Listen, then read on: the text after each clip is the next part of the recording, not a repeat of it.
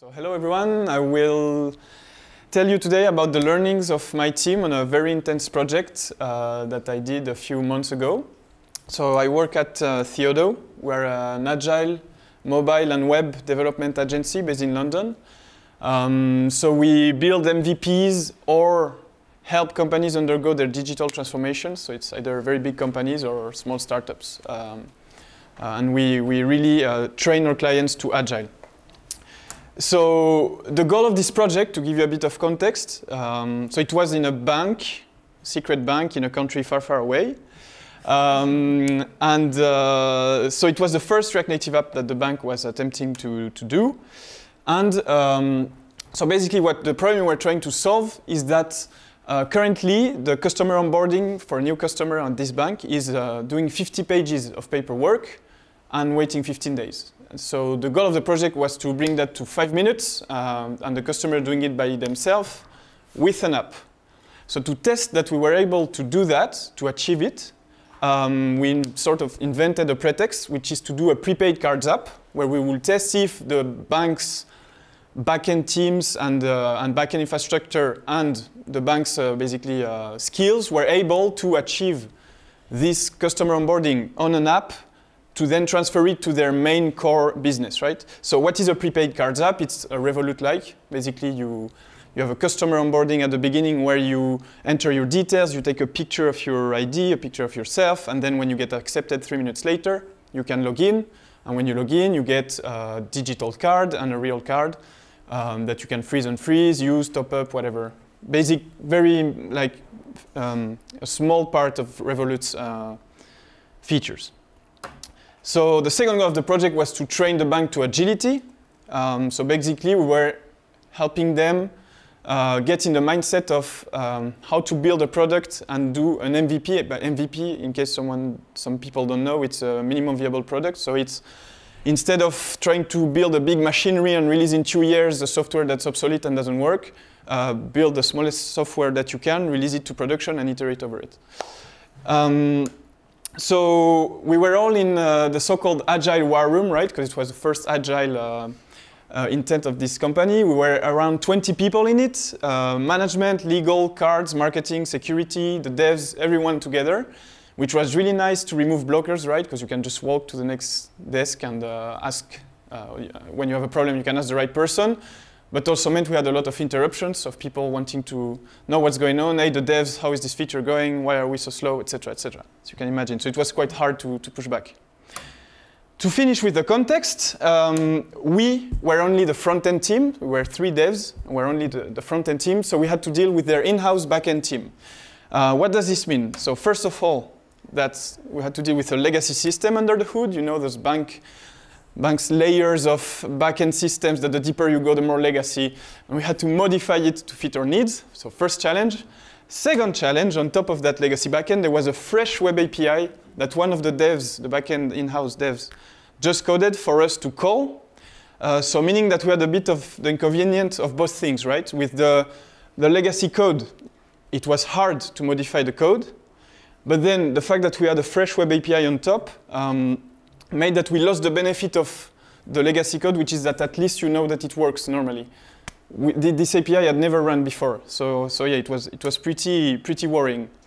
Um, the second thing that was a bit worrying and that made this project quite intense is that uh, the business kept repeating during the whole length of the thing, the app has to be up to bank standards of quality, which means let's not do agile, let's, uh, let's do waterfall, right? Um, so, okay, we want to learn Agile, but make sure you make a perfect app that has all the features. Crazy. Um, so that's the context. As you can see, it's a very intense situation. I don't think most of us are faced with that, but there are hopefully some learning still on how to make a, a project go smoother. So we had 10 weeks, we were two and a half devs because uh, one of them was half staff somewhere else. And we had an initial plan. So what was it? Let's say those are the 10 weeks, we're at the beginning, right? And let's say that this represents the capacity. So two and a half devs that, that have a capacity per week. And I'm going to put boxes in there to show more or less how long a feature is supposed to take and how much workforce it requires.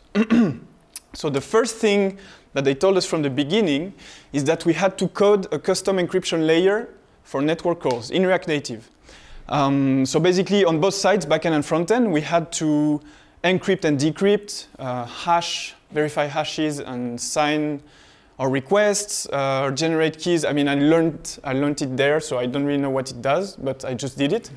Um, so imagine, so in Node it's already really hard, but imagine if you have to do that in React Native where you don't have access to all the native uh, methods to do that. The libraries are quite uh, not very mature. So, so that was quite hard. And the problem is that since we had to do this before we could do any backend call, we had to start doing the UI before implementing the logic and the calls of that UI. That's really weird, right? You, you start making an app that's completely dummy, that has only hard-coded data in it, uh, anticipating that after more or less two weeks, you will finally be able to start coding the sagas, the, the calls, etc.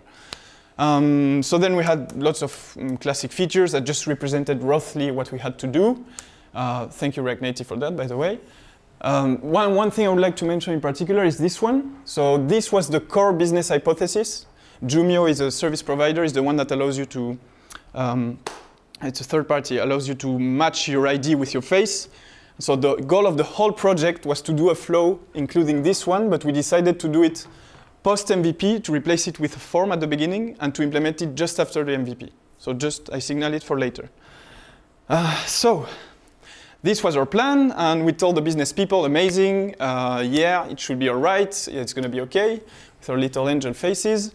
And of course, in real life, this is not what happens. It wasn't okay at all, and this is what I came to tell you today um, to tell you about. So I, there should be learnings from every, for everyone, hopefully, mainly on how to drive a project despite uh, time pressure and business pressure. Um, and, and generally how to effectively, as a technical person, communicate what is going wrong or your prioritization views, like, no, we shouldn't do this first, even though it looks shiny. We have to do the tough, the tough things first. So I'm, I'm going to try to explain how we manage to communicate that uh, to the business. Um, so there will be a few technical things, but it's mainly about project uh, communication. So the naive beginnings. What happened at the beginning? So we were quite optimistic. We run on the project. We start, um, and we were here. So what happened here? First week, the guys, the business, as a waterfall organization that they were, um, picked one thing of the idea of MVP that they really like is that you can ask people to deliver something at a given date. They really, really like that idea. So they said, okay, guys, MVP is going to be on, on week six, and you guys managed to fit it in there. Okay, so yeah, okay, let's move stuff around a little bit. Might not fit this part, but we'll see how it is with this feature, it might go. So we lost our little angel face, but we're still quite optimistic and said, okay, let's crack on, let's do this. Um, so once again, we, we still had the business, the core of the business fitting there, so it was, it was okay. Spoiler, we should have said no already at this stage, but yeah, we'll see. So one thing we got right at this point is that we got rid of the bottlenecks. What do I mean by that? so imagine a situation, I'm going to do a schematic uh, situation, where you have a big chunk of shiny UI to do and a task that has a dependency. So what's a dependency? It's before you can do the backend work, the, the backend calls, you have to code this encryption layer. And this dependency, even worse, is a bottleneck, meaning that you, you only can have so many developers working on it at the same time. For example, the encryption layer, we couldn't put three guys trying to figure it out. It's a one developer track where you have to progress. So if you detect that you have a piece of work like this, of course, um, if you start by doing the shiny stuff because you think business will be very happy to see how much you can produce and you will reassure yourself on your speed, then this is what's going to happen after, right? You're going to fail. It seems really obvious, but, but it isn't. It's hard to detect these situations. So yeah, you might not deliver anything, miss detecting future problems if you work on the easy stuff first, and run out of work because once you have done all the big, obvious piece of work, then when you have a, a, a, a dependency like this, you might have developers that, that are idle. So what you need to do, of course, is to first work on the hard thing that's not really visible, and then fit the rest of the UI where you can, and you can succeed. So applying this principle, we started working on the encryption layer, as I was telling you before, and, uh, and this allowed us to, to figure out problems really early. So what happened? When we got here, so end of the coding of the encryption layer, right? Well, um, reality hit us. So it wasn't the case at all that it will last two weeks. Why? Because as I said, it's really hard to code that in JS. And I mean, we're just calling a backend. We don't know what happens there inside. It's extremely hard to debug. We, we, we didn't know if it was us or the backend that was wrong. Like we had no clue where we were. What we had though was two example apps uh, that the bank had built before on iOS and on Android with native code that implemented that security layer. So we decided, okay, let's stop everything and let's try to implement that uh, in native code. So we are JavaScript developers. None of us had ever touched any type of native code. And we had like two weeks maximum to figure out something unless, or, or we will fail completely the project. Fortunately, good news, if you ever have to do that, it's quite easy to figure out. First of all, bridging, I don't know, you probably have heard a lot about bridging already. So I'm not going to explain you how it works. I'm just going to explain you it's extremely easy. You have this library, 600 stars, and in half an hour you get a hello world uh, from your native code to your React Native debugger. Like it's really easy, console log. So if you have to do just a little function for a punctual need like encryption, a bunch of functions, it's really nice to do it with this. Java and Swift are actually quite okay. Um, so for a person that codes JavaScript on a daily basis, you write your instructions, it's nice. What is not okay at all, though, is Objective-C. Really? I don't know. I think you guys seem to know what it is. Uh, like when I saw this thing where the end of the name of the function is the first argument, I mean, I, just started crying anyway. So, and the problem is that we had a piece of code on iOS that we really needed to translate into Swift. Fortunately, most of you know it probably, but the two languages are equivalent, so you can literally paste a piece of code of Objective-C, a function, in a tool, for example, called Swiftify on the internet, and it translates it in Swift. So having Objective-C is like having Swift, and it saved our day. Um, but so a takeaway from this is that we lost two weeks initially by trying to replicate in JavaScript something that's really complicated and that we had an example code for. So the lesson is that we should have not been afraid of native code and done it from the beginning. We would have saved a lot of time. Why a lot of time? Because the consequence of this going so big, remember, it's a dependency is that then the backend works moves here, right? And that's quite problematic.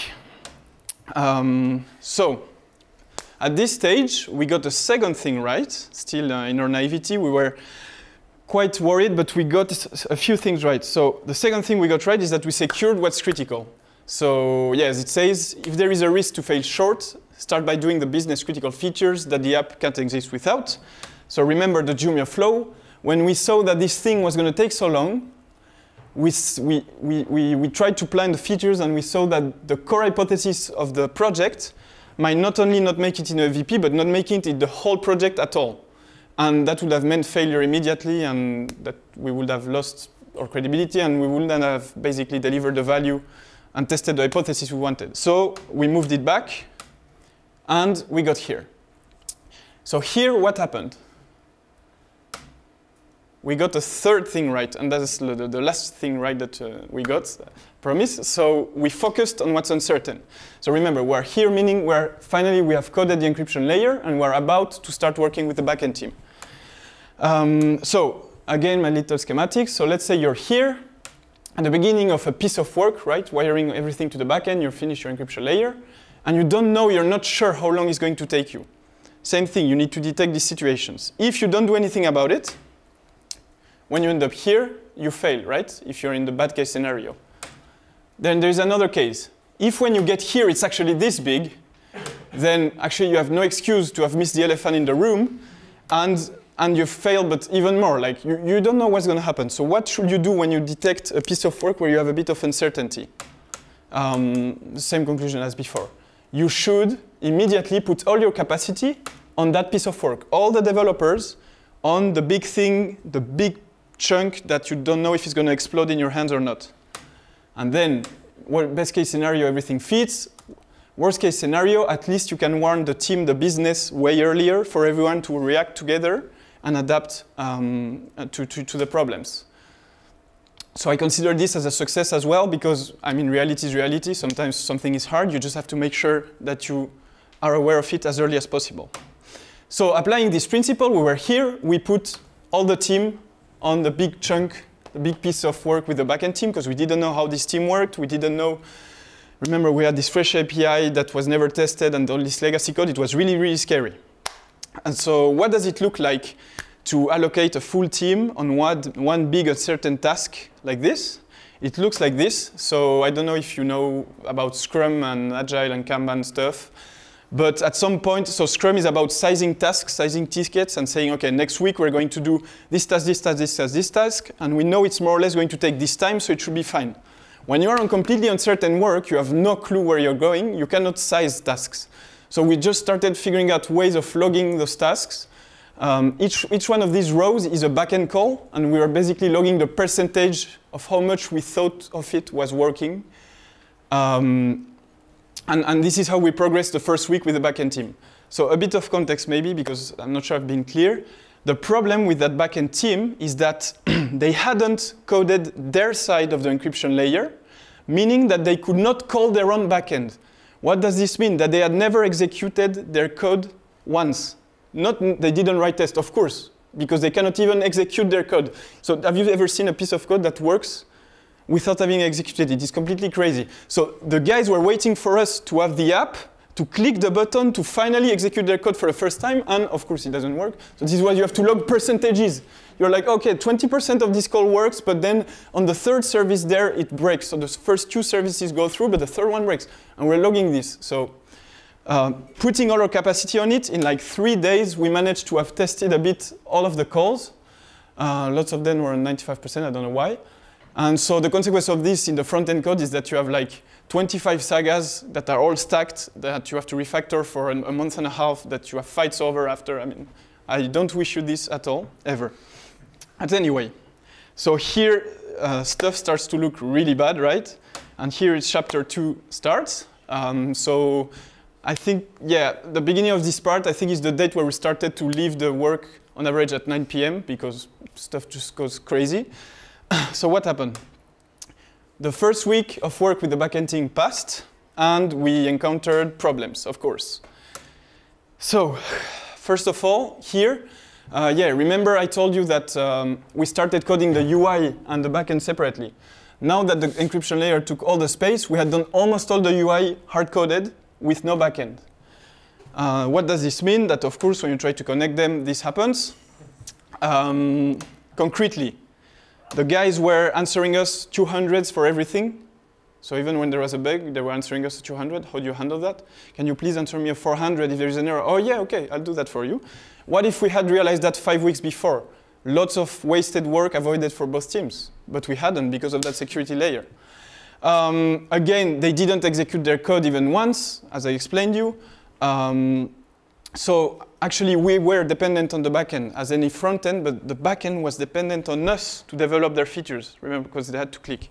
It's crazy. Um, and the, the, last thing that, that made us lose a lot of time that we didn't detect with the backend team is that they had one development server. So I don't know if you have developed like this ever, but uh, the guys don't develop in their local machines. They have a development server, meaning that if one of them puts a breakpoint, it's going to stop the other ones. So we would often like hey, can you test the call for me, please? Okay, so I interrupt my task. Okay, I will uh, mount the app on the simulator. I will click on the button for you. I will wire everything. Okay, I clicked. 30 seconds later, are you sure you clicked? Uh, yeah, yeah, let me do it again. Still doesn't come through. Hey guys, did someone put a breakpoint? Yeah, yeah. it's me. Can you give me two minutes, please? Okay. At least they could have a dashboard showing who is putting a breakpoint or something. So when you realize this problem six weeks after, you're like, guys, anyway. Uh, second thing, so obviously um, we had a lot of design flaws in our front end that we did not detect because we did not wire the backend. So, for example, one good friend of us that is present today gave us an amazing advice of using middlewares and not bothering using sagas. Do not try to do that. I don't advise you. So once you have the sagas, first of all, it's less boilerplate to write. And sagas have amazing thing, things like take, for example, that, I don't know, it seems so simple, but in middleware I couldn't even write a take. So we had to refactor all our middlewares into sagas, for example. Um, and yeah, basically instead of doing feature by feature, you visit all the features in the front end first, and by wiring the back end after, you revisit them all. So there is a lot of context switching with that, right? Lots of time lost. So that's why we push back a bit uh, the backend, and then another week passed. And what happened here? You will have guessed, of course. It got even worse, more problems. What are those problems? So we started putting stuff in prod, right? Remember this old principle that we all apply now. Uh, so we did, uh, that wasn't the case. Um, why? So the guys did not have test data. So first of all, sometimes they didn't have test DLLs or whatever, meaning that the test server could not run some features. So meaning that sometimes they were telling us, oh, sorry, we can't test this, we have to wait to be in production to see if it works. Okay, so you can imagine that you lose a few weeks if you start uh, having to test features like that. The second thing is that uh, they could not control their test database. Like you know, test database, you create fake customers, you delete them, etc. Here, once we had used up a real person's ID, it was finished. You had to find another one to create. Uh, and this app is about the onboarding flow, so it's about creating accounts, the, the core of it. So once was, we had used up the 20 people in the room, we had to start calling friends. I mean, one of us, the UK guy, had to go create an ID of that country to, to, to make an account. Uh, crazy situations. So, of course, you lose a lot of time with that. And finally, last problem that we encountered at this point was a few backend design flows. So I won't enter into details, but uh, big, big problems like the guys were, so they were sending us flags. So we were supposed to set flags in the backend stating at which stage the customer was in the flow. But those flags were wiped out if we, um, if we uninstall the app, right? There, there, was an ID to remember, remember them. So this means that they intended us to use the backend as a hard drive. So after a week, you realize, but guys, I'm just going to use the local storage. Why did you build this whole feature? So again, so, many, so much time lost by the guy who coded this in the first place on the backend team. We didn't challenge him on that. We didn't know he was doing that. Uh, second thing is, uh, yeah, they weren't sending us some logic that we needed. Lots of free work that we didn't detect because we worked separately in the beginning. So, what happens here? So we're complete failure, right? Um, well, what happens here is that now business comes in, right? Because it's the week uh, seven, six, I don't remember exactly. Uh, you're three, four weeks uh, before the end of the project. You haven't really put in prod. They see all these problems, they hear about backend problems, but they don't see them, right? Because they, they don't really understand what it is. You try to explain them, sometimes they get interested, sometimes not. They have time, they don't have time. And so here they start reminding you about the real priority of the project, right? That is to actually train their in-house developers to React Native. Guys, don't forget this is the priority. And we hadn't even started doing that. And, and they come and they tell you that. And then they, they started putting meetings all the time, um, telling us, guys, can you please fix this bug that I found here? Sorry, I'm trying to make the top-up work, which is like the core thing of the app. Why are you asking me to change your input code uh, padding? I mean, come on, anyway. But the guys start to freak out, and they really, really, really ask you stuff. And also, um, we, yeah, the code couldn't get of the bank, which means we couldn't use CI services, for example, and we had security audits taking time. I mean, yeah, crazy. Sorry tell me if I speak a bit too quickly, but this was really a crazy moment. Um, and so what had we done wrong? How, how did we get here? So my diagnosis is that we did not ask the hard questions at the beginning. We did a few things right, but we mainly did other things wrong. We didn't do the go and see. What is that? So the go and see is when the business guy told us that the app we need to implement that custom encryption layer and certificate pinning, instead of saying, yeah, yeah, let's do it, we should have asked, okay, uh, can I see right now the requirements of it, a code base that implements it? And we would have reacted immediately telling them, okay, guys, we have to get this encryption layer out of the way before bringing in all the developer teams so that when they start, the backend and frontend work hand in hand together and we don't, don't have all these problems. We also would have detected all these uh, backend design flows because we would have started working hand in hand from the beginning. Um, the second thing that we didn't do, the second go and see we didn't do is when they told us that we are working with a backend team that's not us, we should have asked them, okay, can I now code just a small feature with them, put it in staging, put it in prod, and see what happens? We would have detected that their code isn't tested, and therefore it doesn't work at all, that they bother each other when debugging, so okay, let's try to do something about it, and that they don't have test data at all. Um, and so actually this is real feedback that the, the client gave us on week eight. They said, why didn't you figure out the problems before by sitting down with our guys? So, so yeah, I think this is like the main learning from this experience is that we need to, to take time to figure out what are going to be the biggest pain points at the beginning of a project instead of trying to just rush through. So how did we survive in the end? Because we ended up being quite successful with this app. What, what, are, what, what did we do? Uh, so we asked for help to a lot of people. what, what should we do now? Um, so as a team, I'd say with the business, we communicated a lot and we took, took strong decisions. Uh, and we did that early enough to, to not fail. So if you do this on week 9 of 10, you're going to fail. We did it around week 6 or 7, uh, which meant we were OK. So first, we challenged features. So um, yeah, when a guy tells you we need magic feeling that when the, the person um, enters their, their email, they receive the input code by SMS, and that input code is automatically transferred to the app so that they don't have to go in their SMS app to put, you, you said, come on. We are not even having the backend work. Let's remove this feature. No way. Uh, same thing, when the guy tells you on my Galaxy S8 the top of the code input is cut, you say, okay, I don't care, we'll figure it in four weeks. So we started saying really, uh, let's just focus on the priorities. Second thing is we sat down to spend time to solve problems. So remember the guys didn't test their code, the backend team. So we one of our team members, actually, not, not me, me I was trying to rush, but one of our team members said, okay, I'm going to sit down, pause for three days, code a Node.js tool that will be able to call the backend so that they are more independent. And actually, this was the best thing, the best decision taken in the project, because after, they weren't bothering us with calling their thing, they were more autonomous, and they could write tests. So it was amazing. We also trained the, the, the client to, to get us some test data. So we problem solved, and then finally, we communicated with the business to one, make them bother us less because they had visual feedback on what was the stage of the project. So uh, doing Kanban or Scrum depending on the situation, showing the board as you saw before. Um, and so this allowed us to really react to problems as quickly as possible, decide on removing features as quickly as possible, feature decisions. Um, and so, so the, the, the, takeaway of this also is that we, we try to say the hard truth uh, as soon as possible from, from then on. And uh, this is a, a good discovering technique because if you tell, it's like with your parents, right? If you tell something two weeks later, it's going to be way worse. So just say it when you know it. And so more concretely, what we did, we play with the three dimensions. So time, which is length of a project, scope, which is amount of features that you put inside, and um, capacity, which is the amount of developers. So first, the title was a lie. We extended by two weeks. Um, they were really reluctant, but we managed to get that. suddenly fits a bit better. Then we removed features that weren't absolutely necessary. It was hard to negotiate, but uh, with a lot of communication, the business ends up understanding that the goal is to have something in production first and then see what happens.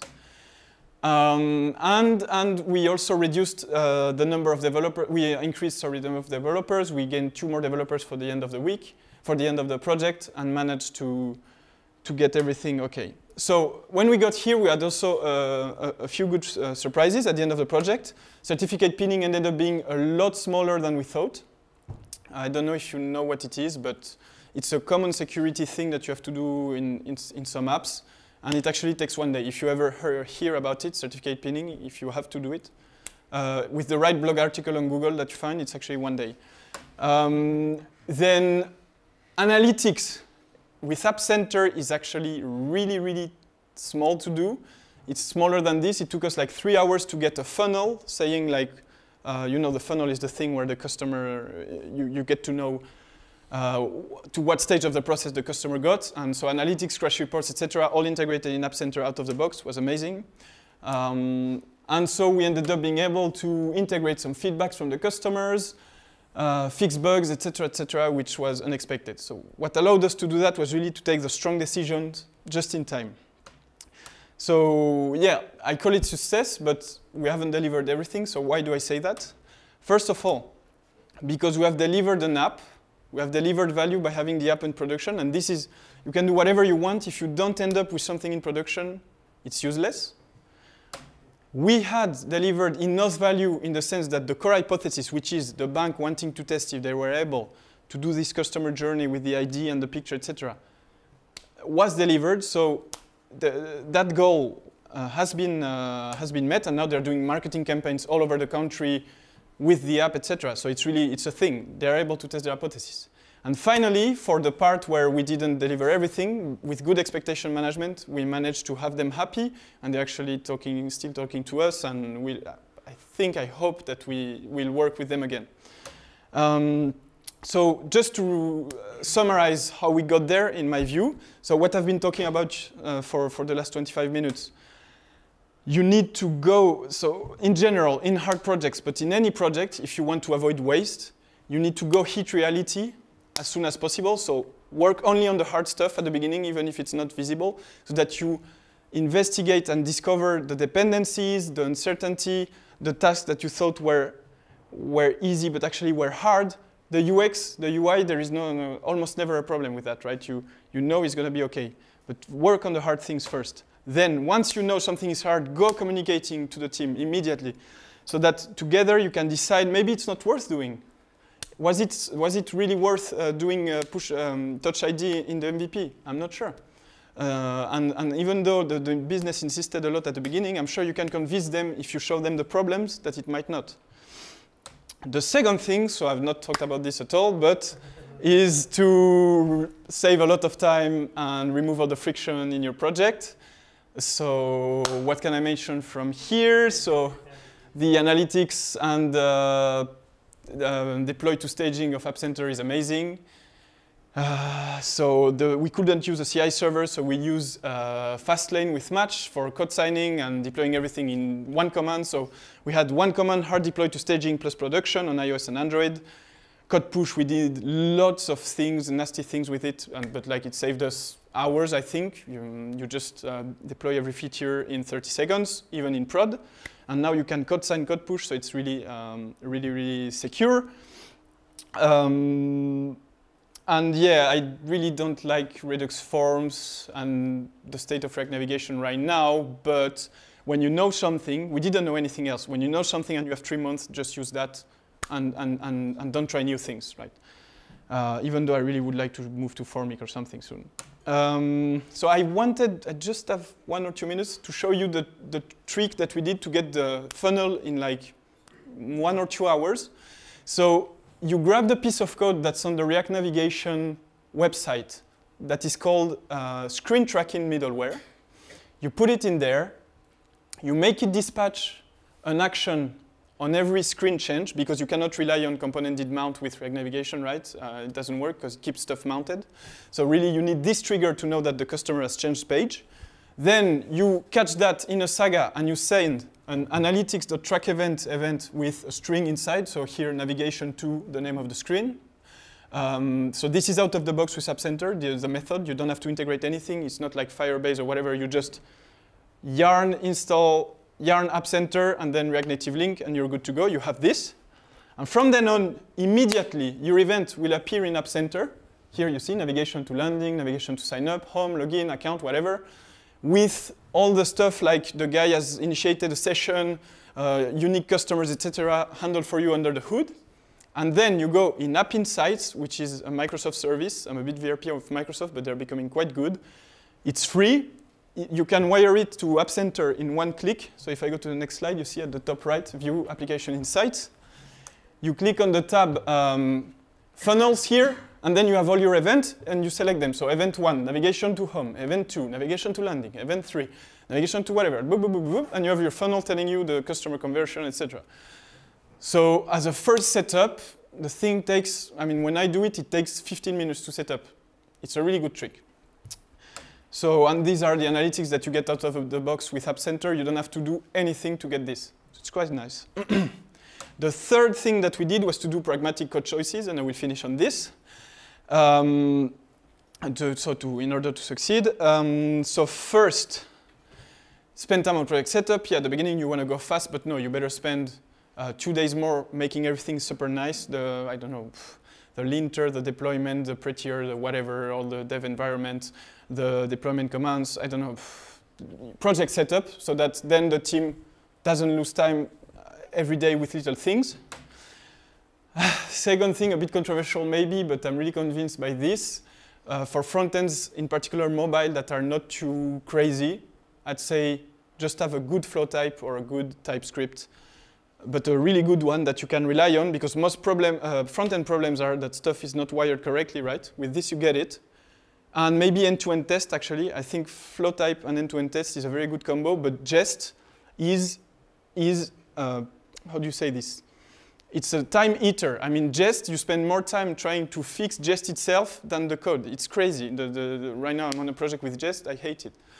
Um, and why do I say this? Uh, I forgot. But anyway, we say, oh yes, because, because, for example, typically when we wrote the 20 sagas and we spend a month and a half refactoring them, so the, remember the sagas are the things that do the backend calls. If we had saga tests in parallel, and when you have to do all these refactorings, you also have to refactor and maintain the tests that are actually testing nothing because nothing is in production. You double, triple the time you lose with, with things. Whereas flow type, on the contrary, tells you when you're refactoring if you broke something and makes you find it a lot easier. So really, I will start projects only with flow and take the decision of running Jest test once it gets big and successful, not before because I think it's useless. Um, don't be afraid of native code. Uh, we will have saved time with this if we had done it before. And don't try new things. Yeah, I mean, so the middleware thing, or maybe even though I didn't like Redux form, we, we chose to, to use it, and it was good enough for, for what we were doing.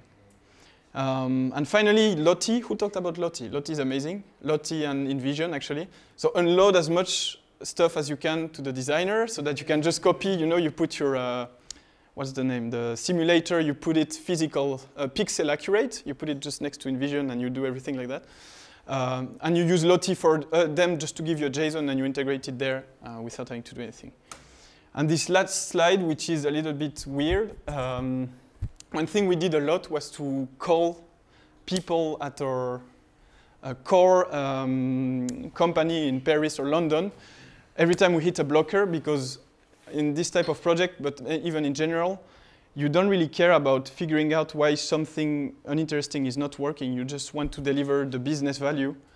You want to deliver your project, so it's not really interesting to tunnel on a task, yeah, and for that, never forget to, to, to call for help. This is like the, the big message that I got at my company, and I would like to, to tell it in general to you. As a coder, never uh, forget to call for help. That's it.